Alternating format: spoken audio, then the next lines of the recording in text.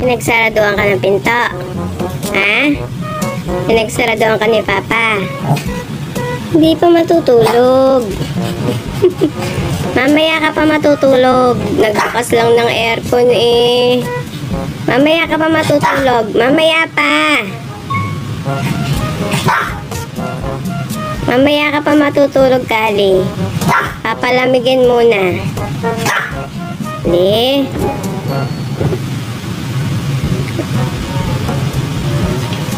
Ikaw. mamaya. Mamaya, mamaya. Bababa pa kayo ni Junior. Mamaya ka pa matutulog. Gusto mo na sa kwarto? Ha? Gusto mo na sa kwarto? Pinagsaraduhan ka ni Papa ng pinto. Tawag si Papa. Tawag si Papa. Dali.